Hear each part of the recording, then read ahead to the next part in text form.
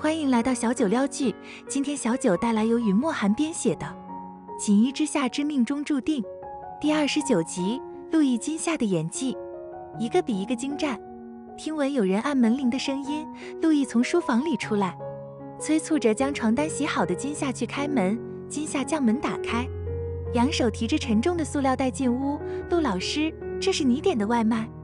他的话似乎有点多余，不是他点的，会送到他家。陆毅有种很无语的感觉，无奈翘了翘嘴角，将外卖用厨房的碗碟装好。啊！金夏愣愣地望了他一眼，既然选择吃外卖，就不必用厨房的碗碟了吧？这样多麻烦，是吧？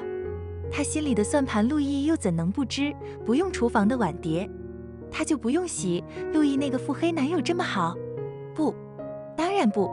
麻烦？我吃外卖从来都如此，怪人怪癖。今夏也只能按照陆毅吩咐的去做。咱们是 A A 制，还是下次你请我？陆老师，你的意思是有我的份？今夏已经饿得前胸贴后背，兴奋地问着。一顿饭就那么高兴？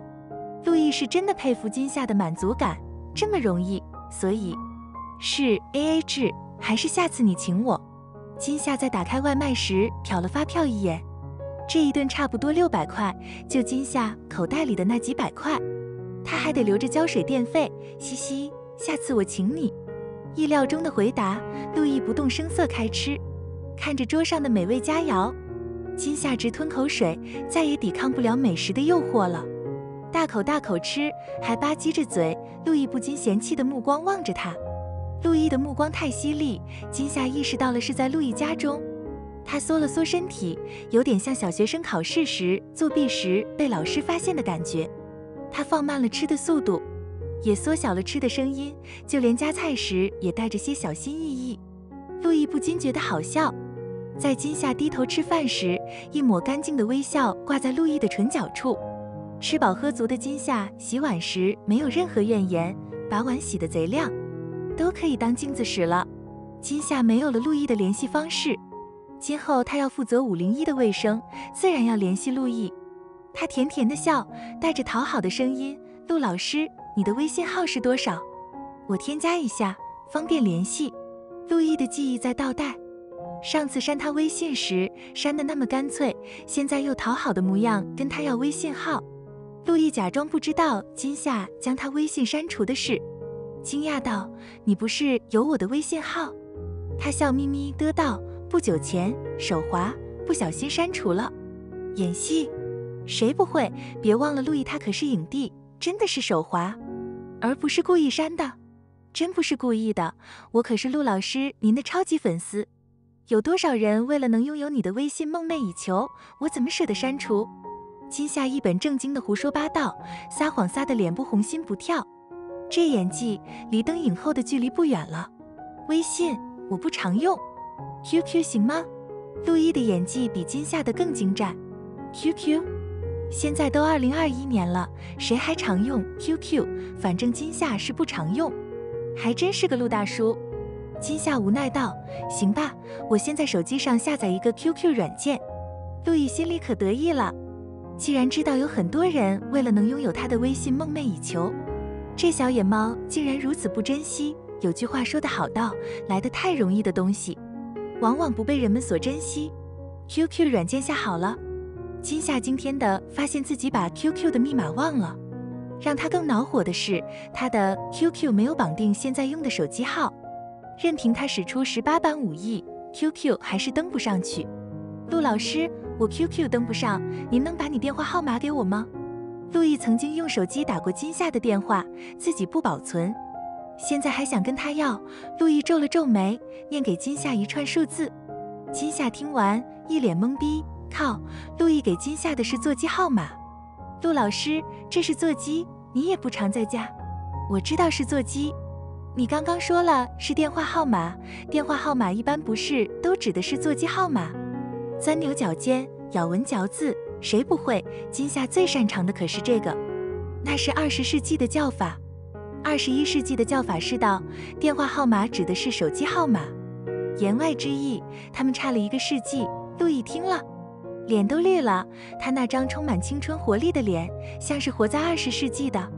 他冷言冷语道：“手机号码，那是我的私人号码，我得考虑一下。”他不给，有的是人给。金夏舅舅又不是吃素的，要不到就把他给怼到。金夏对着他离去的背影，吐着舌头，得意的笑，好不欢乐。第三十集，金夏的青梅竹马一出现，陆毅不退圈了。陆毅已经在家闲置了好几天了，把金夏累得够呛，除了忙自己的事，还得负责五零一的卫生。陆毅翘着二郎腿坐在沙发上，吹着冷气，喝着咖啡。而金夏里里外外的打扫，脸上挂满汗珠，心里盼着陆毅早点离开家。陆老师，你最近都没有通告？没有。陆毅喝了口咖啡，慢悠悠道：“准备退圈了。”啊！金夏万分的惊讶。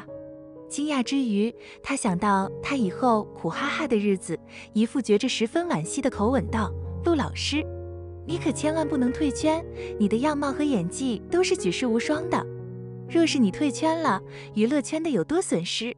今夏的那点小九九怎瞒得过陆毅的火眼金睛？我退了，你们这些后辈才有机会，不是吗？不，不，你在娱乐圈的地位无人能及。今夏的彩虹屁越拍越响亮，你是多少人心中的偶像？你要是真的退圈了，我们这些后辈就失去了学习的机会。陆毅的手机震动了一下。有一条来自蓝清玄的信息道：“明星的印记栏目导演邀请你在退圈前帮他带两位新人，你意下如何？”明星的印记是一档综艺节目，是记录明星成长的过程，很多新人都想参加这档节目，增加曝光率，有机会获得更多的资源。陆毅简单回了两个字道：“不带。”一天后，金夏例行在陆毅家中打扫卫生。陆老师。我明天要去参加一个综艺节目，最近就不能来你家打扫卫生了。嗯，陆毅顿了顿，问道：“什么综艺节目？就是那个明星的印记。我记得陆老师，你之前也参加过这个节目，里面的导演好相处吗？”陆毅沉默了一会，才回道：“还好。”哦，金夏离开后，陆毅拨通了蓝清玄的电话，道：“明星的印记这期的嘉宾有哪些？”除了两个新人外，都是些名气很大的明星，你也都认识。哪两个新人？袁金夏和谢霄。谢霄。陆毅的记忆在快速翻转，脑海里出现谢霄和金夏同台演出的那一幕。谢霄看金夏的眼神，明显像在看恋人一般，心里道了一句道：“青梅竹马。”脸上的神情瞬间冷了几分，跟蓝清玄聊了几句才挂断电话，随后匆匆离开天空花园。去了陆家别墅，节目的拍摄地点在乡下。谢霄早早来到天空花园等金夏一起前往，见金夏背着一个双肩包，拉着一个行李箱，手里还提着一个食盒。谢霄打趣道：“有那么穷，还带便当去？我打听过了，节目组管饭的。”金夏什么也不说，只是笑笑，心里一肚子的苦水。为了这便当，他少睡了两小时。金夏在车里补了几个小时的觉，他醒来时，他和谢霄已经抵达了拍摄地点。屋里出来一女子，金夏礼貌叫人道：“上官老师好。”上官老师名叫上官熙，和陆毅同年出道。上官熙道：“你是金夏对吧？这位应该是谢霄，走吧。”上官熙热情地帮金夏提行李。他们几人还没走进屋，一辆保姆车停在了他们后方。上官熙笑道。他来了，这个他，金夏听出了一种大人物的味道。往后看去，保姆车上下来一人，金夏认真一看，那人是陆毅，他丝毫不觉得惊讶。穿着蓝色衬衫的陆毅，黑色休闲裤，成熟又高冷，衬衫搭休闲裤，在他身上毫无违和感，也只有陆毅能撑得起，毕竟脸和身材摆在那。上官，陆毅先是友好的跟上官熙打了声招呼。视线锁定在金夏身上，金夏端着手里的食盒走进陆毅，陆老师，这便当给你。现在是直播，一串串的弹幕弹起道：“哪来的丑小鸭，给我家哥哥送便当？”他叫好像叫袁金夏来着。他们什么情况？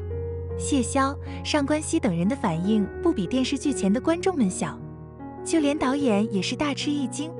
陆毅很绅士的接过食盒，替我谢谢你舅舅。金夏有些愣，便当是陆毅要求金夏做的，跟他舅舅有什么关系？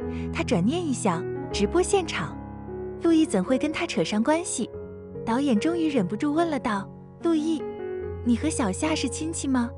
陆毅道：“我们两家算世交，不过我也是上个月才知道的。”一波弹幕又起道：“哇，他们竟然是世交，那我们可得对这袁金夏好点。”其实这是陆毅设的一个局，一来可以给金夏的青梅竹马谢霄敲个警钟，二来可以帮金夏增加人员。